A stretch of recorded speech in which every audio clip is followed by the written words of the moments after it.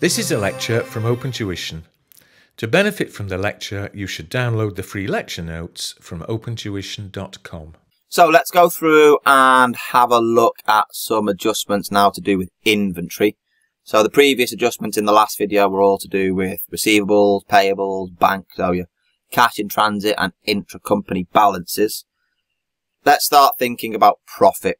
Uh, I'm going to ignore the inventory and transit adjustment first I'm going to start first of all with your unrealized profits because you see them nearly every exam in some capacity.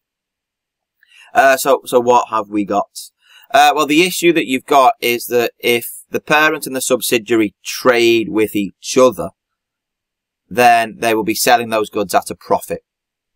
Now, the issue that you've got there is that if those goods have not been sold outside of the group, and are still sat within the group at the reporting date will need to make an adjustment because that profit has not yet been realized outside of the group.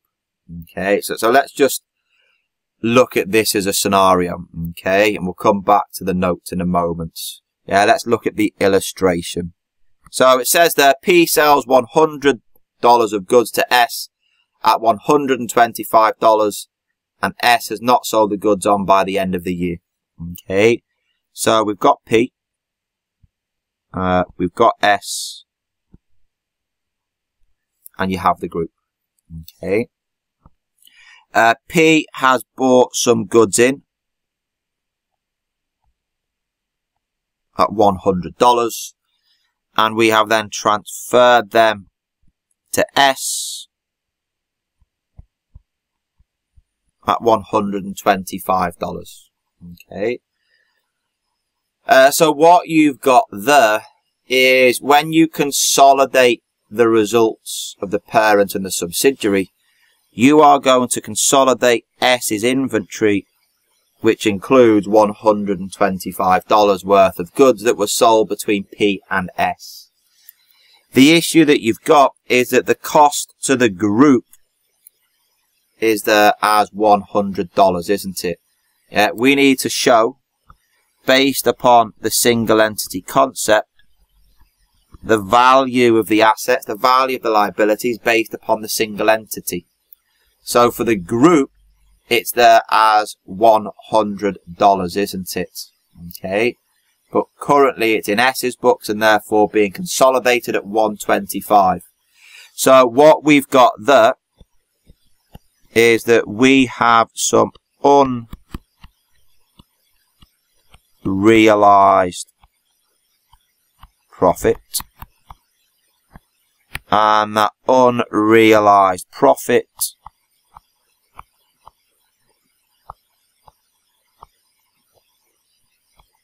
is $25. That $25 needs to be removed. So we need to remove it from inventory. So we're going to go through there and credit the inventory with $25. So that credit will reduce the inventory. Again, be careful, that adjustment is made on the group SFP. And then we just need to debit the profits. Well, the issue that you've got there is who's made the profit. Well, P has made the profit.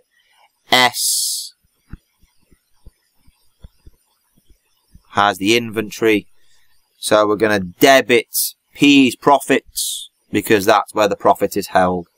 So we're going to debit the retained earnings of P because P is the seller. Okay. There we go. Uh, if we go through and just note, if we sell those goods, you know, if we've sold the goods by the reporting date, we don't need to make a provision for unrealized profit because the goods have then been sold outside of the group and therefore that profit has been realized. Okay. So we need to be careful. We need to look at the inventory at the end of the year and we only eliminate the profit on the goods that remain unsold. If goods have been sold on, then there is no need to recognise a provision for unrealised profit because the profit has been realised, it's been sold out of the group. Okay. So what you've got there, uh, back into the notes, you've got the journal entry that we need to process.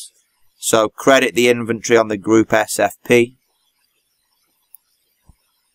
Debit the retained earnings and the key bit there is that we debit the retained earnings of the seller. Okay.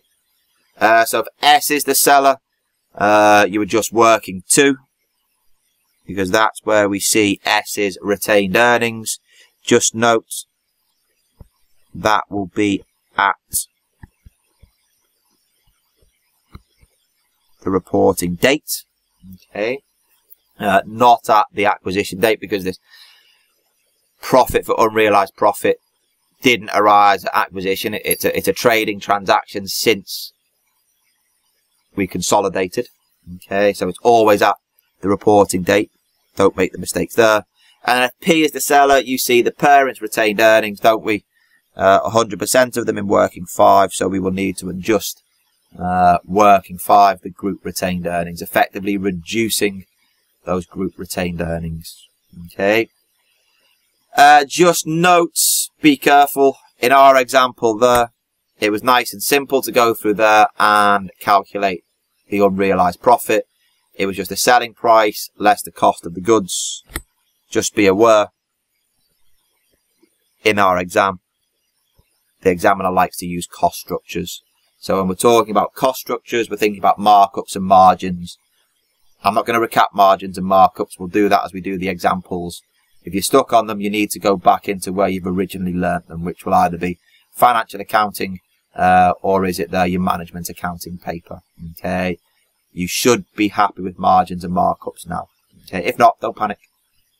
We will revise them as we go through the questions. Uh, so that's unrealized profits. That is so, so, so important. Make sure that you're happy with them. We see it so many times. The other one that we have is inventory in transit. It's very rare. I remember when it came up in an old F7 paper, it just threw everybody. Like, what's that? It's ridiculous. Uh, but what you've got here is it's similar to cash in transit. Uh, in that with inventory in transit, uh, one company has gone through there and sold the goods to the other within the group on credit. So they will have gone through there and they will have debited the receivables and credited the sales. Okay, so they will go through that and have recorded the sale of the inventory. However, this is where the issue then arises, is that the the goods that have been sold are on a ship, on a boat, uh, going from the parent to the sub or the sub to the parent. And they're just floating on this boat in the middle of the Atlantic or the middle of the Pacific Ocean. They haven't yet been received by the purchaser. Now, if that's the case, we need to record that purchase, don't we? Because that inventory isn't actually yet sat within the accounts of the group, is it? So we need to record the inventory in transit like we recorded the cash in transit. But here, what we're going to do is we need to record the inventory. So we debit the inventory with the value of the goods that have been sold and we credit the payables. Okay. That's the first bit that we need to do. That's hard enough.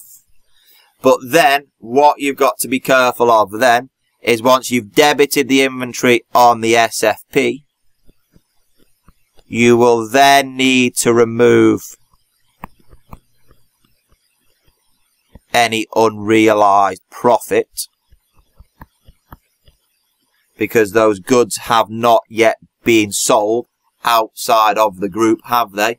They've just been sold from one entity to the other within the group.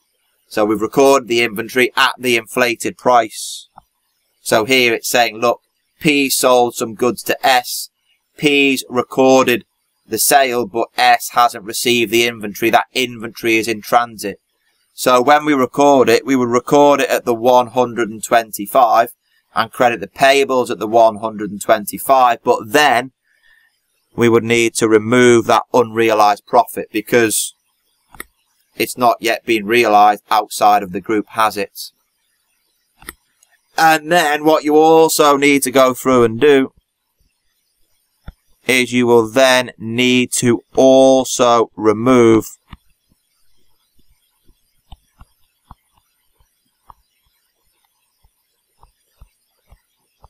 the intra-group balances because there's a payable in one set of books and a receivable within the other.